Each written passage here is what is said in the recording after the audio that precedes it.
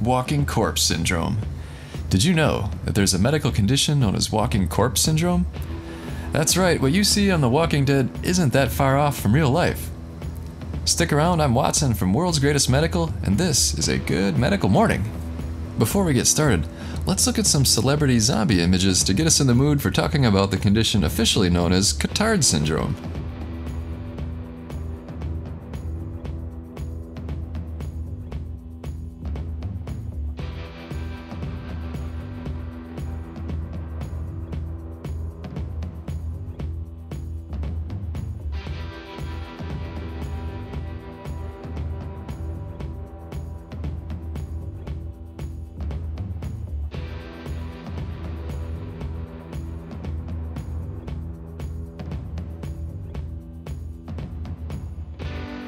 Cotard syndrome is a relatively rare condition that was first described by Dr. Jules Cotard in 1882.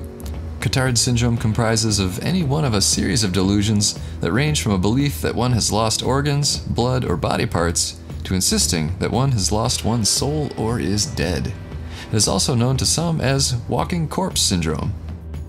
And here's a case report. Ms. L, a 53 year old Filipino woman, was admitted to the psychiatric unit when her family called 911 because the patient was complaining that she was dead, smelled like rotting flesh, and wanted to be taken to a morgue so that she could be with dead people. In many cases, this psychological condition results in personal neglect and the afflicted person withdrawing from society.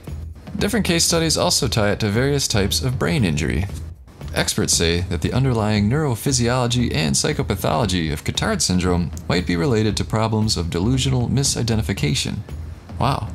It's a sad condition, but it's pretty interesting to learn about. So click like if you enjoyed the video, and subscribe for new videos all the time. Do we have any Jersey Shore fans out there? If so, please check out this shout out from Snooki about Thinergy.